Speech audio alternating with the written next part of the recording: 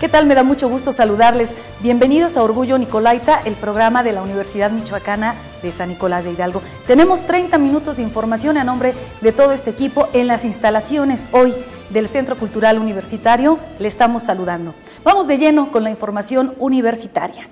Sesión de Consejo Universitario. En la sesión habitual que tuvo el Consejo Universitario, presidida por el rector Nicolaita, Salvador Jara Guerrero y el secretario general Egberto Bedoya Becerril se reunieron en esta sesión para nombrar al nuevo director de Ingeniería Química. La responsabilidad ahora es de Jaime Espino Valencia y sustituye a Rodolfo Ruiz Hernández, el cual ya concluyó el periodo al frente de la institución. Entre sus objetivos destacó que buscará mantener la excelencia de los programas de licenciatura, así como refrendar la categoría de los planes de posgrado dentro del Programa Nacional de Posgrado, así como la formación académica, nuevo director en la Facultad de Ingeniería Química. Y en la próxima sesión de Consejo Universitario, por cierto, se van a definir el próximo director de Medicina, de la Facultad de Medicina, doctor Ignacio Chávez, y también en la Facultad de Derecho. Aquí les tendremos puntualmente la información. Por otra parte, ¿qué es lo que dijo Salvador Jara, el rector Nicolaita, en una reunión que asistió a la Ciudad de México con representantes y directivos del Consejo Nacional para la Cultura y las Artes? Él no lo comenta. La intención de la directora del Instituto Nacional de Bellas Artes es darnos a conocer los nuevos programas nacionales en artes. La verdad que es un privilegio estar en esas reuniones porque soy el único rector, todos los demás son o gobernadores o secretarios de cultura. Entonces el hecho de que la universidad tenga el mismo peso que una Secretaría de Cultura eh, es, muy importante para nosotros.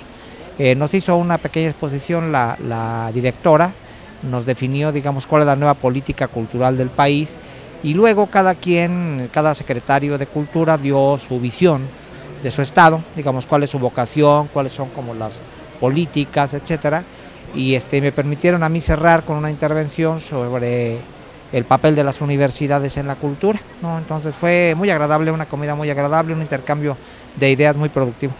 ¿eh? Les comento que esta semana se reacreditaron dos de los programas. El primero de ellos es en la licenciatura en enfermería la Facultad de Enfermería logró reacreditarse como un programa de calidad, según los estándares que exigen los pares externos que realizan las visitas para cumplir con los criterios, indicadores y parámetros establecidos según el organismo acreditador, a decir de la propia directora de esta licenciatura. Eh, importantemente, el compromiso de todos los compañeros en el acopio de las mismas para que pudiéramos integrar las carpetas necesarias, las carpetas que contiene el instrumento acreditador que es el SNAE 08 y se pudiera evidenciar el trabajo que hace la Facultad de Enfermería y que cumple importantemente con criterios de calidad. Por su parte, el rector Salvador Jara Guerrero destacó que obtener una reacreditación es más complicado que la misma acreditación y señaló la importancia de este logro. Ahora, ¿cuál es la importancia de que se acredite? Pues en el caso de enfermería es fundamental porque si no se acredita, no se pueden recibir. Es decir, no hay campos clínicos y entonces no tienen dónde hacer sus prácticas y entonces pues ya es un problema para la titulación. Pasa lo mismo con la, con la Facultad de Medicina el coordinador institucional para la evaluación y acreditación de los programas educativos, David Rueda López, dijo que es una validación de la calidad de los programas académicos Nicolaitas, ya que es la cuarta licenciatura que logra la reacreditación, y recalcó que a final del año más de 7.700 alumnos cursarán programas que han ratificado su programa de calidad. El rector Nicolaita Salvador Jara nos habla precisamente al estar en esta reacreditación de medicina veterinaria, nos habla sobre el proyecto y la presencia que tienen los jóvenes en el mundo laboral.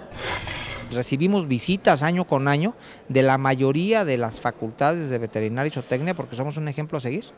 Eh, somos una facultad en donde hay calidad tanto en, la, en, en, los veterinarios que se dedican a productividad de ganado mayor, por ejemplo, producción de carne, todo esto, como en el cuidado de, pequeñas especies que parecen ser dos áreas muy distintas y, a veces hay facultades que solamente se dedican a una, solamente se dedican a otra. Aquí este, nuestros egresados este, salen con calidad en ambas áreas. ¿Qué programas están por reacreditarse o acreditarse en este año? El rector lo comenta. Eh, la que nos faltan por acreditar, que ya están trabajando, es este, Bellas Artes es a lengua y literaturas hispánicas y es farmacobiología. Y las tres están trabajando fuertemente ya para su acreditación. Y más en este tenor de las reacreditaciones, la Facultad de Ingeniería Mecánica, ahora es mecánica, recibió al Consejo de la Acreditación de la Enseñanza de la Ingeniería, el cual espera en unos próximos meses, en un par de meses, darle esta reacreditación. Durante dos días de trabajo, el Comité Evaluador del Consejo de la Acreditación en la Enseñanza de la Ingeniería, CASEI, realizó la visita a la Ingeniería en Mecánica para revisar y hacer observaciones y así poder lograr su reacreditación por cinco años más. Durante la ceremonia de inicio de actividades de esta visita, la coordinadora del Comité Evaluador, Ruth Pérez Otero, mencionó las actividades que hacen los evaluadores. La tarea del evaluador es para ese reconocimiento público de la calidad, que es lo que representa una acreditación. Es eso exactamente.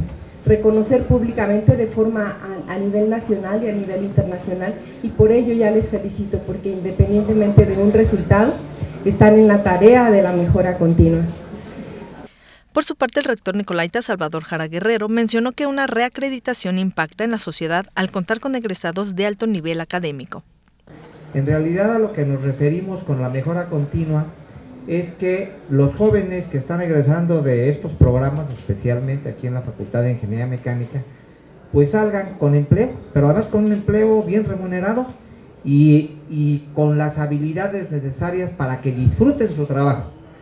Se espera que en los próximos meses se tenga el resolutivo de esta visita. Y también en Noticias de Ingeniería Mecánica hay una excelente noticia. Se trata de un proyecto en el que están trabajando para el sistema híbrido donde se fusionaría la energía solar y la energía geotérmica. Estos son los detalles. Esta, idea surgió hace cuatro años más o menos, donde se estuvo planteando la oportunidad de implementar un proyecto híbrido de energía geotérmica con energía solar. La razón eh, de origen es que a, la universidad, la Comisión Federal de Electricidad, le donó dos unidades de generación de, una potencia baja. Eh, se aprovechó entonces esta donación, una empresa muy importante de aquí de la ciudad de Morelia, eh, nos pidió que estuviéramos en colaboración con la propia universidad para poder este, poner a funcionar este, este esquema. Entonces, bueno, se hizo la propuesta, se sometió al Consejo Nacional de Ciencia y Tecnología y se pudo eh, bajar un fondo muy importante para, para, para, poderla poner en operación. Entonces, esta planta, eh, una vez que se aprobó el proyecto, que más o menos estamos hablando de hace un año, se localiza en, un, en una comunidad de aquí de Michoacán, que esa comunidad tiene un potencial geotérmico importante. Es Simirao, Michoacán, que está en el municipio de Sinapecuaro. Entonces ahí se, lo, se llevó la planta, se pudo integrar energía solar y, da origen a un nuevo sistema, es un sistema híbrido que sería la primer planta a nivel nacional, única en ese tipo. Nuestro orgullo, Nicolaita. En esta ocasión es un joven egresado de la Facultad de Biología. Él nos habla del proyecto que tiene. Es Jorge Rangel Orozco de Biología.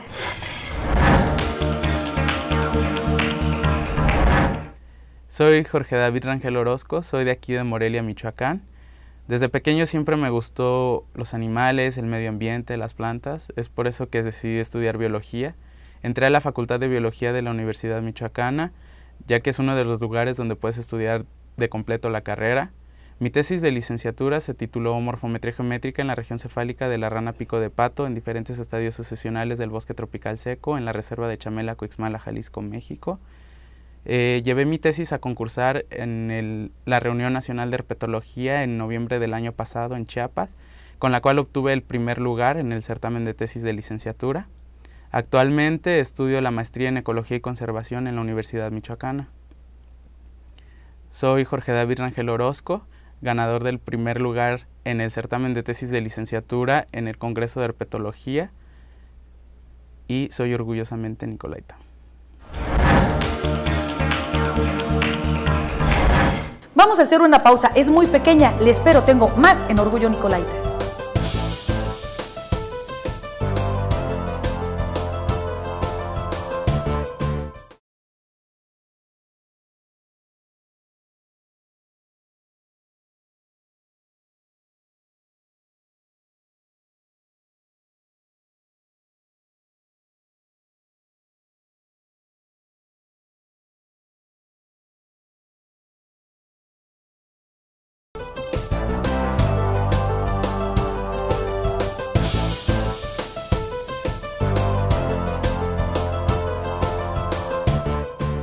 La exporienta que aquí los invitamos cada año ya se realizó. Todos los jóvenes que no tenían definición qué estudiar y para qué o el porqué de cada carrera, esto es lo que resultó de la Expo Orienta.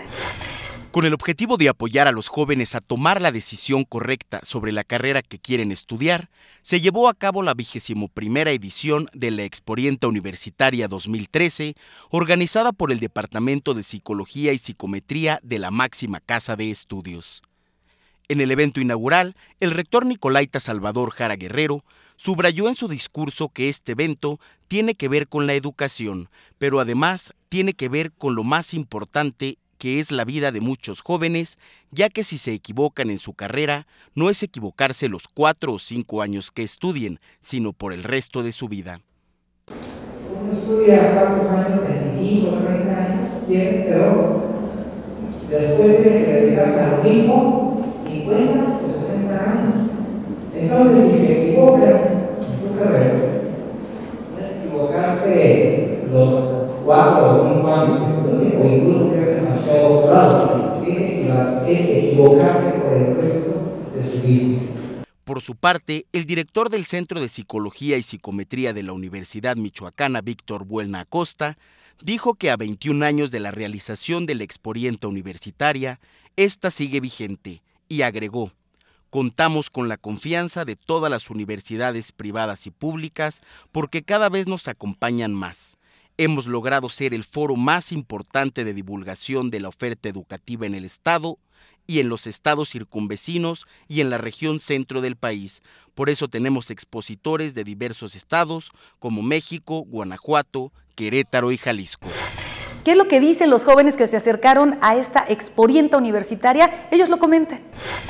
Pues yo digo que es algo muy importante porque obviamente nos van a orientar, nos van a orientar para elegir una buena carrera. Pues la importancia sería cómo podemos decidir para nuestro futuro eh, y definirnos bien lo que queremos ser. Pues te, da opciones de ver más, diferentes carreras y darte más ideas y que quede más claro de en qué carrera quieres estudiar. No irnos basados a, voy a ganar más, a voy a estar bien en esta carrera o sea, simplemente ir, ir orientándote desde ahora para poder elegir bien tu carrera y estar bien y no arrepentirte obviamente de ella. A mí la verdad me interesó venir porque pues yo la verdad yo sí quiero quiero estar segura de lo que yo realmente quiero investigar sobre mi futuro más que nada. Y esto pues me llamó mucho la atención la verdad. Y pues me da mucho gusto que hagan todo esto por nosotros más que nada porque pues ellos se ve que se preocupan por nosotros y pues más que nada pues a nosotros nos agrada eso. Bueno, a mí me motivó mucho venir, pero veo que no está derecho lo que yo realmente vine, pero hay, hay, hay muchísimos, muchísimos más, lo cual es muy, muy bonito y pues ahorita voy a ver cuál escojo. Muchísimas gracias. Y con una intensa labor también por parte de los expositores, ¿qué es lo que nos dicen en torno a la exporienta universitaria?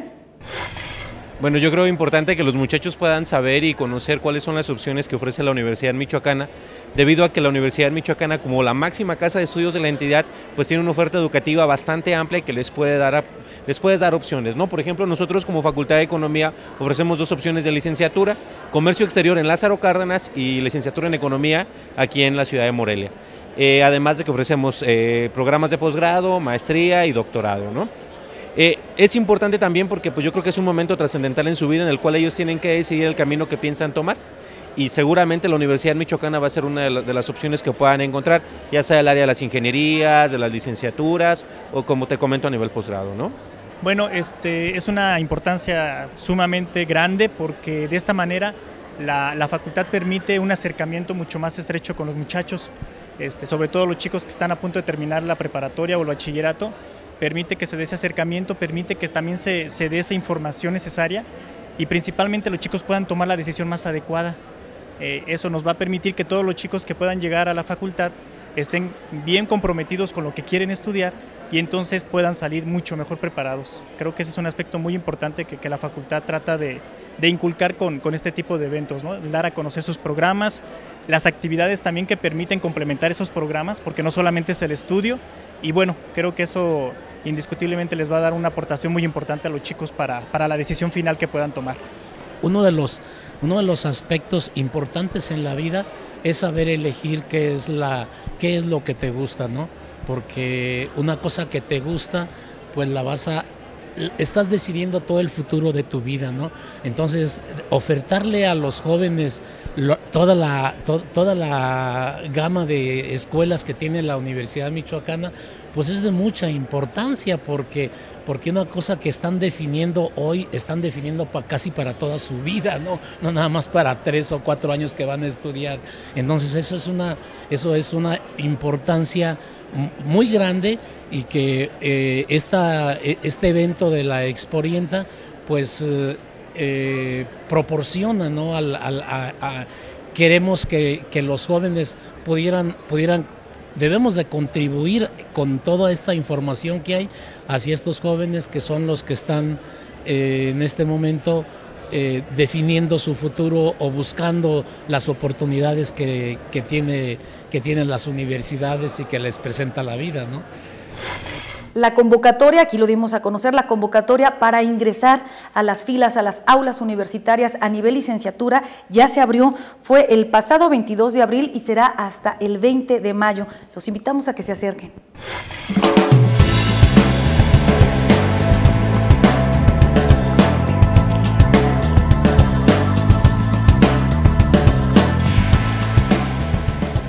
Hola, si eres estudiante del último semestre de bachillerato y deseas ingresar a alguno de los programas de licenciatura que ofrece la Universidad Michoacana de San Nicolás de Hidalgo, primero deberás realizar los trámites de solicitud de ingreso.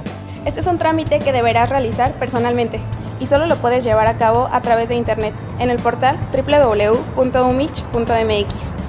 Ya que ingresaste a la página, busca el icono y dale clic para poder ingresar a la convocatoria. Para realizar tu registro en línea, debes ingresar a la página de la Universidad Michoacana de San Nicolás de Hidalgo www.umich.mx. Da clic en la convocatoria Nuevo Ingreso 2013-2014. Aparecerá posteriormente el proceso de admisión. Selecciona Convocatoria Licenciatura. Primero debes leer cuidadosamente la convocatoria y así aclarar las dudas que tengas sobre el proceso de admisión. Te recomendamos que no des información falsa o de lo contrario se cancelará tu trámite. Al final de la convocatoria aparecen tres recuadros en amarillo. Selecciona Obtener solicitud de ingreso. Aparecerá la toma de protesta. Da clic en Sí acepto. Ingresa tus datos personales, tu nombre, tus apellidos, género, fecha de nacimiento, país, estado y municipio. Recuerda tener a la mano tu CURP porque necesitarás esos datos para llenar tu solicitud. Una vez que se llenen todos los campos, se envían y aparecerán las órdenes de pago. Hay dos opciones para realizar los pagos. En ventanilla se tienen que imprimir las órdenes de pago. Ahí aparecen los bancos en donde se pueden realizar los pagos. Una vez hecho este trámite, se deben esperar 72 horas hábiles, en lo que los bancos reportan los pagos. En línea, el pago solamente se puede realizar con tarjeta de crédito. Se envían los datos y se proporciona la información correspondiente. Llegará una notificación de cargo a la tarjeta al correo que se proporcione. Con esta forma de pago, la liberación del mismo es automática, es decir, pueden continuar con el registro para completarlo. Una vez reportados los pagos, se tiene que regresar a la convocatoria, pero ahora en la parte donde dice Concluir registro. Enseguida aparecerán los datos del aspirante, nombre completo, domicilio, programa al que solicitó el registro. Aparece una encuesta que debes realizar. Este es un estudio socioeconómico. Aparecen tres documentos disponibles en línea, instructivo, guía y reglamento. 23 de abril y la celebración del Día Internacional del Libro y de Derechos de Autor. ¿Cómo es que festejó la Universidad Michoacana, la Escuela de Letras, en este día tan importante en donde muere Miguel de Cervantes, Garcilaso de la Vega y William Shakespeare? ¿Qué es lo que hicimos? Con la apertura de talleres de creación literaria para la comunidad nicolaita anunciados por el rector Salvador Jara Guerrero, la entrega gratuita de libros emitidos por la editorial universitaria y lecturas de texto creativos ya publicados e inéditos, la Universidad Michoacana de San Nicolás de Hidalgo conmemoró el Día Mundial del Libro. Durante su intervención, el rector Nicolaita Salvador Jara Guerrero subrayó su activismo como autor literario para la divulgación de la ciencia, ya que en su actividad académica en el doctorado en físico-matemáticas le ha llevado a publicar textos para acercar a la niñez al mundo de las ciencias exactas. Eh, pero ciertamente es una de las características fundamentales en la cultura humana, ¿no? El poder disfrutar, viajar a otros mundos a través de la lectura y después poder plasmar eh, vidas que uno no ha vivido pero que puede soñar a través de la escritura, es algo maravilloso. Es una manera en que eh, uno puede comunicarse no solamente con la racionalidad de otros seres humanos, sino con la espiritualidad, por supuesto, de otros seres humanos. En la ceremonia se llevó a cabo una mesa de lectura de poesía contemporánea michoacana y posteriormente la entrega gratuita de distintos títulos literarios a los asistentes. Jóvenes entusiastas de la Facultad de Historia realizaron un congreso que fue justamente aquí en el Centro Cultural Universitario y fue el primer encuentro de estudiantes de Historia Centro Sur. Las conclusiones aquí se las presento. Analizar los hechos históricos que marcaron el siglo XX y repercuten en lo que consideraron la actual crisis contemporánea fue el tema que reunió a estudiantes de diversas instituciones del país en la Universidad Michoacana a través del encuentro de estudiantes Centro Sur de Historia. Pues este encuentro lleva, es el primer encuentro de estudiantes de historia Centro Sur. Eh, la temática del encuentro fue corrientes historiográficas e historia del, del siglo XX entre las crisis contemporáneas. Académicos y alumnos abordaron diversas temáticas mediante mesas redondas y de debate en las que intercambiaron experiencias y en donde coincidieron que se ha incrementado el campo laboral en materia de historia, por lo que seguirán desarrollando este tipo de actividades para impulsar la reciprocidad académica entre diversas facultades de México. Eh, tuvimos, este, como dijo el compañero, una asistencia de 23 facultades de toda, de toda la República Mexicana. Eh, tuvimos cuatro mesas magistrales junto con la de hoy, en la cual pudimos este, ver las diferentes experiencias de, los doctores de todo, el país. Tuvimos mesas sobre historiografía, sobre movimientos armados, eh, otras sobre eh, historia del arte y la de hoy que va a ser sobre las crisis de las ciencias sociales. Se espera que en septiembre se realice la edición número 36 del Encuentro Nacional de Estudiantes de Historia, cuya sede será la ciudad de Querétaro, en tanto que el próximo año Veracruz y Oaxaca serán los anfitriones. El Tianguis de la Ciencia fue este fin de semana, viernes y sábado, en donde la comunidad universitaria se acerca a todos los pequeñitos y de ahí han surgido los próximos científicos. En biología he aprendido que las tortugas marinas se orientan gracias al campo magnético creado por la Tierra. Las tortugas se orientan con sus ojos. He aprendido sobre plantas, que hay plantas medicinales y plantas dañinas. En el Tianguis de la Ciencia me gusta la maqueta del volcán. He aprendido que el volcán expulsa lava, ceniza diente y rocas. También sé que hay volcanes en reposo como el Paricotín, que se encuentra en Michoacán. He aprendido sobre la electricidad. Ahora sé que hay corriente alterna y corriente continua. La corriente alterna se usa en nuestras casas la corriente continua en pilas o baterías. Me gustan los paneles solares que ayudan a conservar el medio ambiente. Hace poco he visto en internet las pruebas de vuelo de un avión unipersonal impulsado solamente por energía solar. Gracias a la Universidad Michoacana por ayudarnos a motivarnos a conocer más. Gracias. Este, de estos dos lados le vas a poner otros tres, ¿vale? De estos. ¿Cómo te dije que se llamaban estos? Centritos. Muy bien. Entonces, ¿tú de qué color elegiste estos? Verde. Vas a volver a poner verdes de este lado y verdes de este lado. Tres y tres. Eh, buenos días, yo soy Luis Castillo Damián y le voy a hacer una pequeña entrevista al rector de la ciudad universitaria. Mm, ¿Cuál fue el propósito de, de iniciar con el Tianguis de la Ciencia?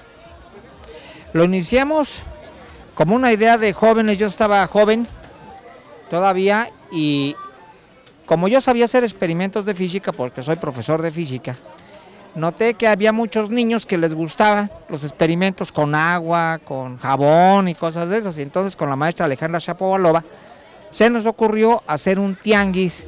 Y le pusimos tianguis porque en el planetario pusimos un techito como los que hay en los mercaditos, así de tela, de manta, y pusimos una mesita como esta que está aquí y ahí poníamos nuestros eh, aparatitos y entonces los niños del planetario iban y nos preguntaban, ¿y eso qué es? Y ahí les hacíamos unos experimentos, llevamos imanes, brújulas y eso, y así se inició el Tianguis de la Ciencia, fue realmente por el gusto de transmitir este, experimentos bonitos de física.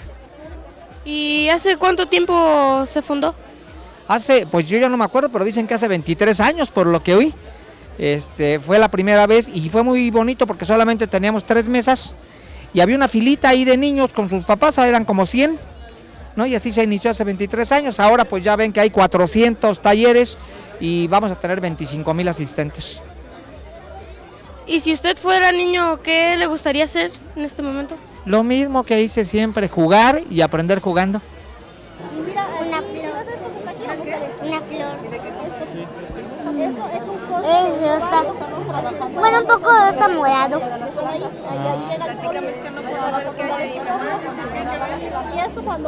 Tiene tallo. Tiene pétalos, tiene plantas.